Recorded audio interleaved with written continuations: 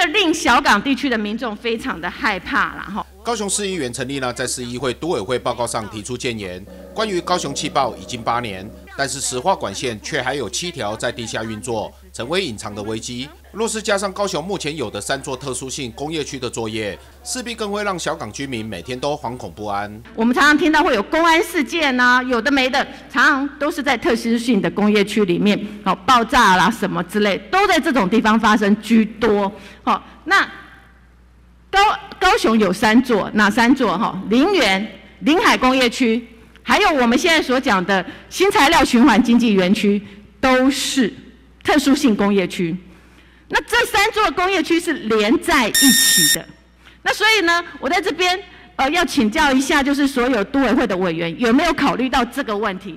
当三个特殊性工业区都放在一起的时候，对小港地区造成的冲击是什么？你们对小港的生活环境的应应对策又是什么？先重启使用，但是如何转型？包括七柜的后边还有石化厂，合计有这十几家人，他他仍然要生活下去。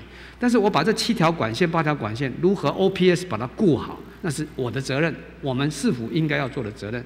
但是又如何把这些公司哈，或者是产业面呐，如何？我刚刚也跟我们秘书长请教，他有一步骤一步骤的这个策略，有的是就地转型啊，有的是指重大的不能移动的，就要移到我们的海边七柜的这个旁边。而左南区市议员黄文志则在咨询上提到，随着台积电的即将进驻。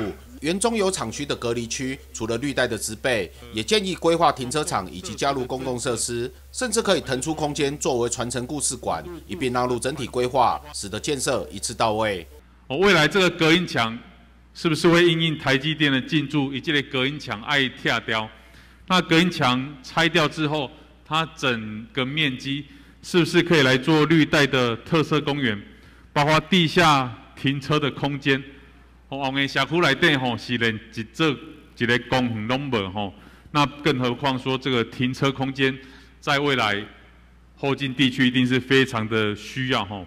我相信也值得，因为 TSMC 就在旁边了嘛，所以这个地区应该要成为一个足以可以成为一个人本的社区，甚至是智慧应用的，我都同意。但是都要请我们的啊吴文燕局长啊准备好了之后，就该开始通盘检讨。高雄市未来城市的拨花蓝图，都市计划委员会是否能将民意代表的建议付诸实现？在专业考量和经费运用、锱铢必较的天平上，如何取得平衡点，也考验都委会成员的智慧。